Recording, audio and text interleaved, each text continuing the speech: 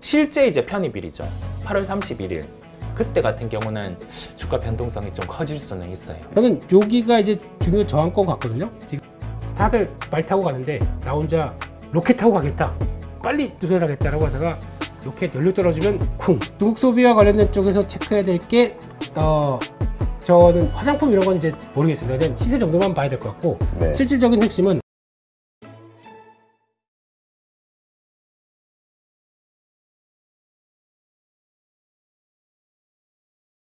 자, 일단 근데 네. 아까도 잠깐 들어오실 때 질문을 드렸지만 네. 오늘 많은 분들이 그 에코프로가 MSCI 편입되고 나서의 흐름 네. 여기에 대해서 아마 가장 큰 관심이 있을 것 같아요. 네. 어, 차트는 무지 좋습니다. 네, 차트는 좋은데 이거를 그렇게 보셨으면 좋겠습니다. 누구나 다 알고 있습니다. 전 투자하시는 분들은 다 알고 있거든요. 그렇다고 하게 되면 발표돼서 이게 쫙 하고 올라가는 것보다 그걸 알고 또 쫙 하고 어, 여기용 관련된 세력들도 좀 있겠죠. 그렇기 때문에 제가 보기에는 들어간다는 사실 가지고 주가 탄력들이 커질까? 이건 저는 의문입니다. 어, 그러니까 저라면 항상 기준이 저라면 여전히 저는 여기가 이제 중요 저항권 같거든요. 지금 가격은 지난번에 어제 말씀드린 120만 원대 그리고 또 만약에 들어오게 되면 127만 원 뭐 이런 식으로 요 상단부 안쪽까지 들어온다라고 하게 되면 상단부 한 130만 원까지는 되겠네요. 네. 여기는 어 여기 120, 130은 일단은 저항일 수가 있기 때문에 일적으로 빠르게 들어온다 그러면은 어, 어제 말씀드린 내용처럼 내가 만약에 101만 원에 매수 단가다. 네. 그러면은 줄이시는 게 좋겠다라는 얘기는 여전히 유효합니다. 그러면 결국에는 왔다 갔다 왔다 갔다 한다고 하더라도 왔다 갔다 하면서 이게 약간 소멸되는 과정. 이게 이렇게 그러면 지금 삼각수령이죠. 좀 이게 끝나고 어느 방향으로 갈까라고 하는 모습들 본 다음에 그러면 이제 시간이 필요합니다. 이때는. 그러니까 그게 적어도 지금 이쪽부터 생각하게 되면 한 달에서 한 달 반 뭐 이런 식으로 어느 정도 조정 맞춘 다음에 그 다음에 다음 레벨업을 하는 게 가장 좋겠다라고 보고 있기 때문에 그런 차원에서 보셨으면 좋겠고 근데 좀 서운한 게 있습니다. MSCI 리뷰가 예뿐만 아니라 네. 지금 들어가는 종목이 하나오션도 있고요. 음, 여러 개가 있던데. 네, 하나오션도 나쁘지 않죠 지금 모습이. 음, 차트 괜찮네요. 네, JYP가 있습니다. JYP도 안 나쁘죠? 네, 저기 딱 밀리고 지지하고 옆으로 횡보하고 있는데 이런 것도 오히려 좀 봐야 되지 않나 라는 쪽도 해서 오늘 같이 다 같이 한번 보시면서 어, 편입 이후의 효과들을 체크해야 될 것 같습니다. 근데 일단 기본적으로 네. 많은 분들이 믿고 있는 거는 외국인이 사야 되지 않냐라는 의견. 네, 그 다음에 또 한쪽은 이미 편입되기 전에 다 사놨다라는 의견. 이게 좀 충돌을 해요. 아, 산, 사 놀, 그러니까 사기 시작할 겁니다, 계속. 음. 그러니까 이거는 어차피 MSCI 편입되다 보니까 거기 뭐 1조, 뭐 1조 7천억 말은 많다고 하더라도 그 하면서 사기 들어올 겁니다. 근데 아마 그때 외국인들 매, 매매 동향 잘 보시게 되면은 많이, 그러니까 사는 쪽과 공매도하는 쪽이 같이 결부가 될 거예요. 음. 그러니까 이거 아마 그 데이터 어, 공매도 현황 그 한국 거래소에서 보여주는 공매도 현황 보게 되면 맨 끝쪽에 클릭하시게 되면은 이거 누가 많이 매도하나 나옵니다. 대부분이 모건 스탠리. 아, 모건. 네. 하고 이제 그 몇몇 개 회사들 뱅크 오브 아메리카 뭐 이러면서 다 그놈 그 녀석. 네, 이런 아이들이 계속 네, 하고 또 보니까 똑같이 포스코 홀딩스에서도 그 짓 하고. 그래서 그런 것도 어차피 저 패시브 자금 들어올 걸 알고 주가가 올라가게 되면 거기다 또 나도 공매도 쳐서 이벤트 수급 이벤트 끝나면은 나, 나는 이거 노릴 것이다 네. 라고 하는 공매도 쪽도 만만치 않게 들어올 때- 거기 때문에 그와 같은 균형이 있는데 저희 또 개인 매수세가 이를 또 잡으려고 그냥 우와 이렇게 나오게 되면은 또 긴장하긴 하겠죠. 음. 네, 아직은 네, 하여튼 지금 그 나오는 뉴스들의 어떤 이렇게 보면은 네, 지금 가장 관심이 큰 게 개인 대 이 공매도 세력 간의 전쟁. 네, 이게 이제 에코풀에서는 일단락 됐다라고 보는데 포스코 홀딩스에서는 어떻게 될 것이냐. 네. 여기에 대한 관심들도 상당히 큰 것 같아요. 네, 포스코 홀딩스는 그냥 그렇게 보셨으면 좋겠습니다. 그냥 이걸 편하게 보셨으면 좋겠어요. 어차피 기업 가치는 레벨업이 당연히 돼야 될 것 같은데 그렇다고 그래서 지금 저희가 빡 광분해서 저 무거운 종목들을 아 저거 상한가 들어갈 거야 라고 보시면 절대 안 됩니다. 그냥 시간 갖고 편하게 기다려야 되는데 그러다가 어 이제 점점 사업 보고서상에서 나오는 우리의 철강이 아니라 철강은 점점점 매출 비중 떨어지고 신재생 쪽에서 나온 성과들이 점점 더 확대되기 시작한다. 그럴 때마다 level up 계속 시- 시도할 겁니다.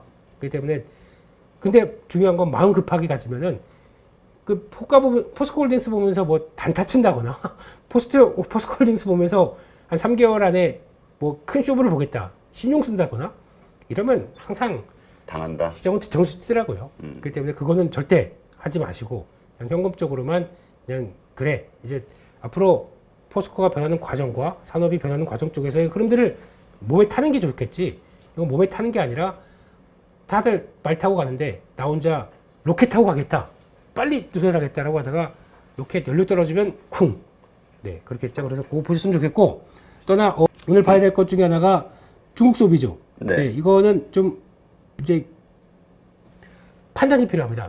어제는 다 올랐는데 앞으로는 다 오르는 것보다 과연 중국인들이 와서 얼만큼 쓸 것이고 그에 따라서 어떤 성과를 볼 게 뭐냐라고 해서 좀 변화가 나올 걸로 생각되는데 첫 번째는 중국이 그럼 예전만큼 와서 흥청망청 써줄 것이냐 소비력 이거에 네. 대해서는 앞으로 체크해서 봐야 될 거고 그러니까 저희가 그 객단가라고 그러죠 이것도 이제 계속 체크를 해야 될 부분이기 때문에 이거는 확인해야 될 것 같고 두 번째는 보니까 중국이 또 그런 얘기도 있습니다. 어 막상 reopening 돼서 뭐 개인 개인 여행 개별 여행으로 나갈 수가 있거든요. 안 나갑니다.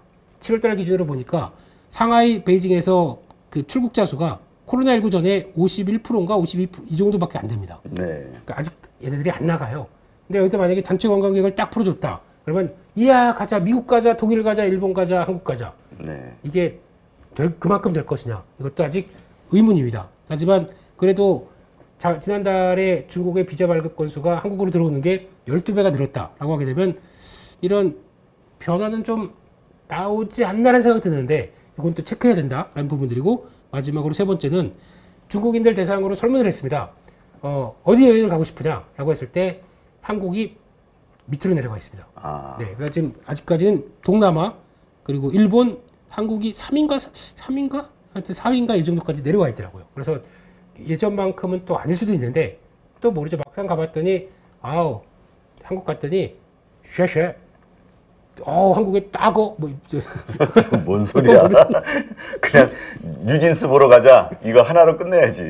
오늘 봐야 될 섹터 네. 준비하신 거 빠르게 한번 보죠. 네, 그래서 그 연장선입니다. 그래서 제가 보기에는 중국 소비와 관련된 쪽에서 체크해야 될 게 어, 저는 화장품 이런 건 이제 모르겠습니다. 그냥 시세 정도만 봐야 될 것 같고 네. 실질적인 핵심은 그런 관점 쪽에서 봤을 때는 아마 저는 엔터가 눈여겨 봐야 될 것 같고요.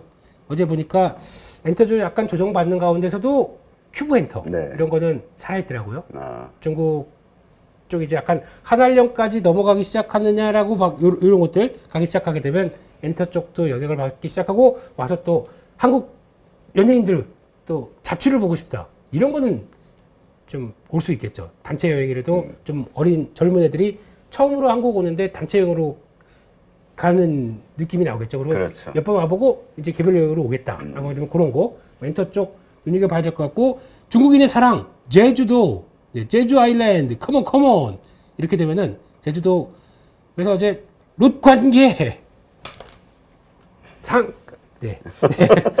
롯데 관광 개발은 어제 말씀드렸듯이 아직도 아, 코스- 롯데 관광 개발. 이, 이, 알았어. 쓰담 쓰담. 또 이게 아직도 코스피에서 공매도 1위입니다. 아, 그래요. 7.2%. 네. 그러다 보니까 계속 올라오면 올라올수록 잠깐만 이거 정리해야지 이런 마인드가 나올 수 있기 때문에 근데 중요한 거는 오늘 어제 상가 들어갔기 때문에 막 또 미친 듯이 올라간 게 아니라 한번 또 좀 주춤주춤 했다가 그런 공모주 청산 욕구가 나오게 되면 한번 또 점프업 이렇게 나올 수가 있기 때문에 이거 한번 보셨으면 좋겠고 이첫 번째, 두 번째, 세 번째는 과연 한국 와서 뭘 하겠느냐 제가 보기엔 카지노 이쪽도 연결되는데 카지노도 드림 카지노인가 롯데관광개발이 있으니까 이것도 연결해서 보시는 게 맞지 않나 생각 들고 있고 마지막으로는 한국 와서 뭘 사가느냐라고 봤을 때 제가 보기에는 뭐 한국 와서 뭐 김 사고 이런 거 다 온라인으로 할 수 있습니다. 네. 화장품도 온라인으로 할 수 있습니다. 근데 한국에 지금 유, 영유아 쪽도 온라인으로 들어오나 이건 잘 모르겠는데 좀 특색 있는 거 산다 그러면 그쪽은 선물하고 싶은데 이제 그런 거는 좀 대상에 올라오지 않나 싶긴 한데 이것도 한번 체크는 해보겠습니다만 네. 가장 중요한 거는 그래도 이제는 또 업체별 섹터별로 중국인들이 왔었을 때 2019년 전보다는 좀 다를 수 있을 것 같습니다. 벌써 시간이 지났기 때문에 거기서 뭘 원하는지 관심사들은 계속 체크하고 투자 아이디로 연결시켜 되기 때문에 그런 쪽으로 가셨으면 좋겠고 네. 네, 그리고 또 여기는 없는데 지금 체크해야 될 것 중에 하나가 어제 보니까 노보노디스크가 실적 발표했습니다. 와, 참 역시 신약 개발 잘하면 이렇게 나오네요. 음. 그러니까 매출이나 매출단이 조 단위로 찍힙니다. 아 그래요. 네, 그 중에서 보니까 OPM이 어, 영업이익률이 44%입니다.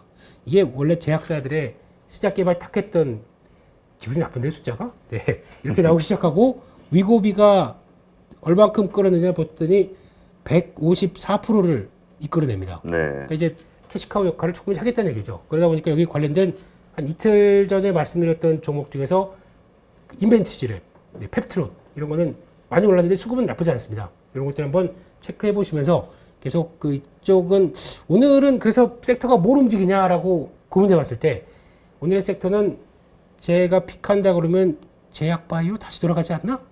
이쪽이 안 끝났더라고요. 네. 그래서 혹시 오늘 시장이 별 그렇게 재미가 없다. 뭐 오늘은 오늘 시장이 택할 픽은 이쪽이 아닐까. 그래서 이쪽 종목들 보시면서 보니까 기관 순매수 한 레고캠 바이오가 바로 보이네요. 이런 것도 한번 보시면서 어, 일단 시작하고 한 10분, 20분 동안에 오늘의 움직이는 섹터들 잘 보셨다가 그런 것도 아까 말씀드렸듯이 살짝 살짝 대가는 것도 좋겠다. 이렇게 말씀을 드리겠습니다. 예, 네. 여기까지입니다.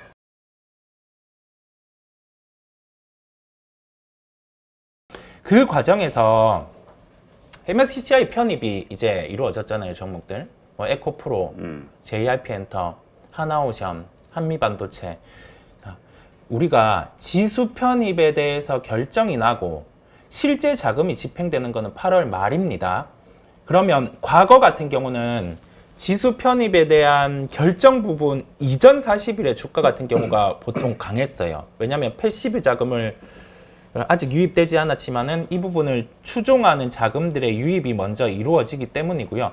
그 다음에 실제 발표일에서 편입일까지 외국인 매수 강도 같은 경우가 평소보다 3배 정도 더 늘어납니다. 아, 그리고 각 종목들 같은 경우가 2015년대에서 현재까지 그런 추이들을 대입을 해봤을 때 종목들 평균이 한 3% 정도 어,의 수익률 같은 경우는 증대가 나타났어요.